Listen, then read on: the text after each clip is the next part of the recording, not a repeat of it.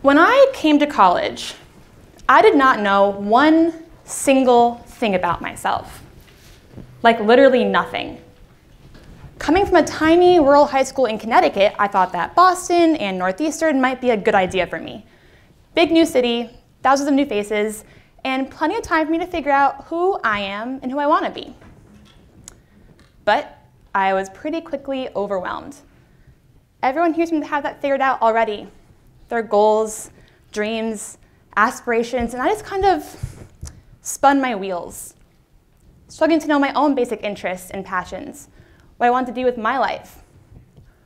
It felt like I had jumped into a pool and completely overestimated my ability to swim.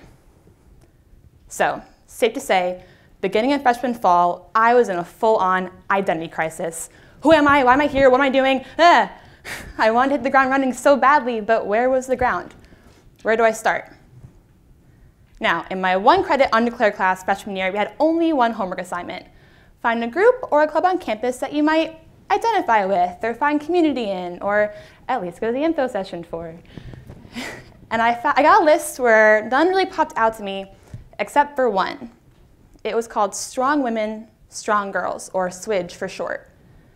SWIDGE is a mentoring organization for girls in grades 3 through 5 on female empowerment and feminism. At that point, I felt so powerless, I figured maybe if I can learn to empower others, I can learn to empower myself. So I applied, and I got in. I was placed at a small school in Dorchester with four older, experienced mentors who told me the same thing every day from day one. Alicia, you have to show up to mentoring. Unless the world ends, or your leg breaks, or both, you gotta be there. Now, first I took that as being there physically, and so I was. I was there on time, every week, ready to go. And I think I knew deeper down there's a bigger meaning behind showing up, but I didn't really know how to ask, and so I didn't. But as my journey into SWIDGE continued into my second and third years, I began to get a better understanding for what showing up really meant. It meant being there physically, sure, but it ran deeper. It meant showing the girls that you wanted to be there, caring about them and their lives, being excited for them and with them. Most importantly, it meant showing the girls that you were in their corner and then proving it. Now, in SWIDGE, we showcase showing up by focusing on two key things, role modeling and representation. It's built into our curriculum, so I'll show you how. We start every lesson with what we call peaks and valleys, where a peak is a good part of your day or your week, and a valley is a challenge or an obstacle.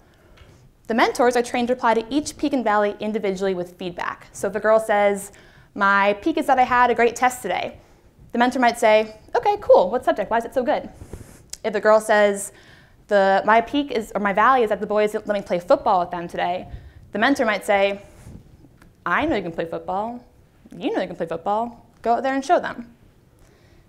Anything to show the girl that what she is saying is important and that the mentors are listening. Then we go into bios. We have one biography every week of a woman or girl doing something amazing. Now here, language is very important. It's built to make the, the story in the bio sound tangible and attainable to our girls. That bio success could be our girl success. And because we mentor mostly girls who are black and brown, make a very strong point to showcase as many women as, of color as possible as we can. Representation for young girls of color is so critically important at that age. So them access to stories that they can relate to has a huge impact. Then we have the activity, which is based on the lesson. So if you learned about, say, Little Miss Flint, the activity might be a skit or a poster board about a cause the girls care about and why we, the mentors, should care too. This is time for the girls and us to get silly and have fun together, but also really build that mentor-mentee bond. And then we end with journals, where the girls can write a letter to one mentor or all of them about the lesson.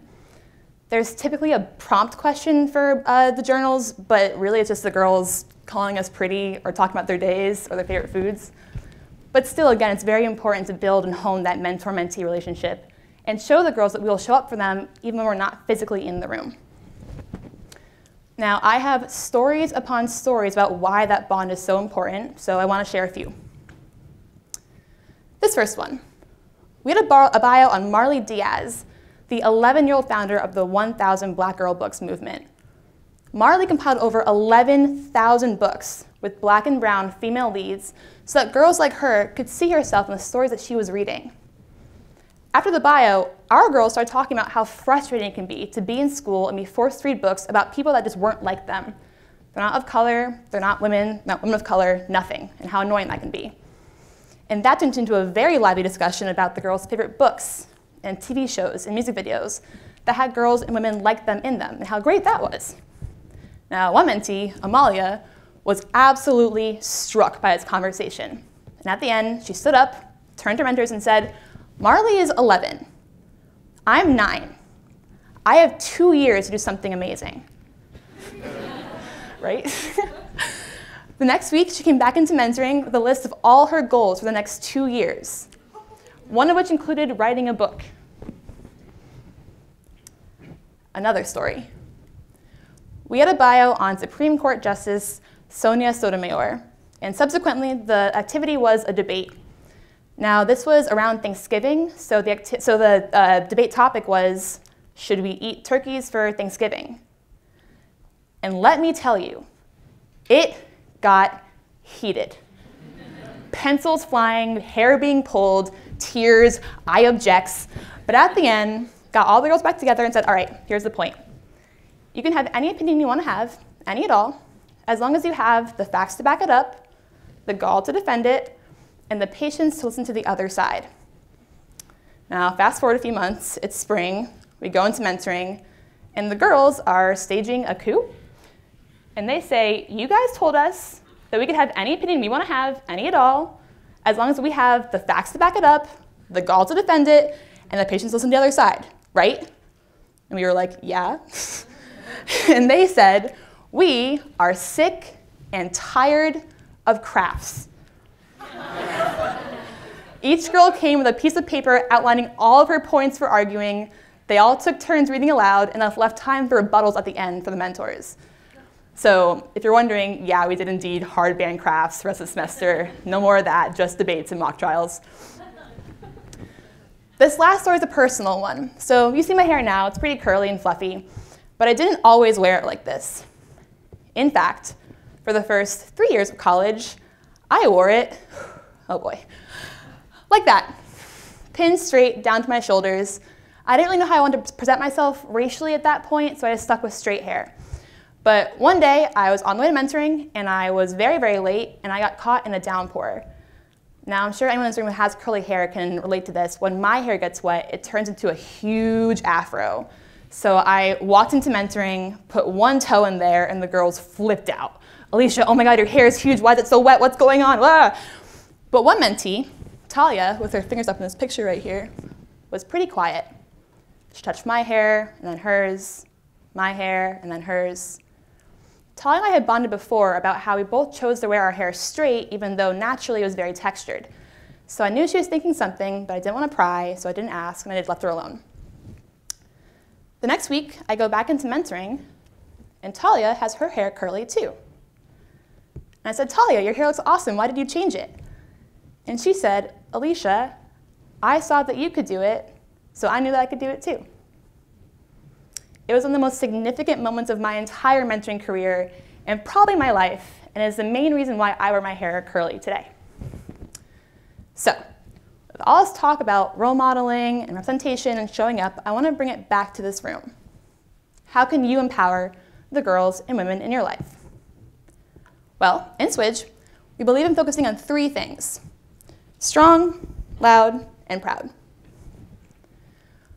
When we teach girls to be strong, means teaching them to excel as far as they can possibly go. Teach girls that strength is good and comes in many different forms and sizes.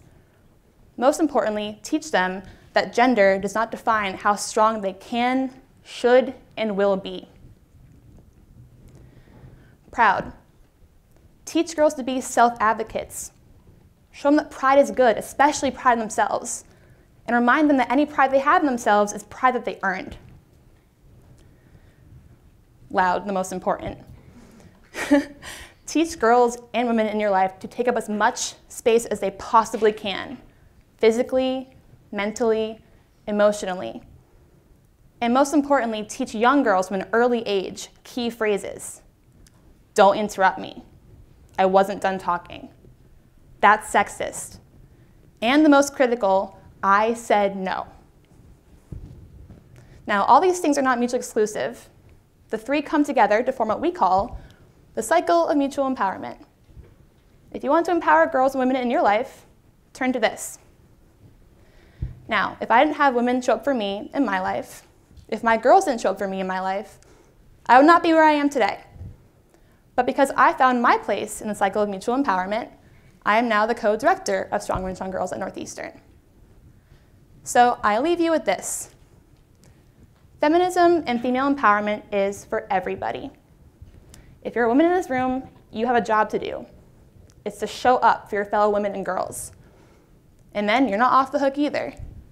Listen to women.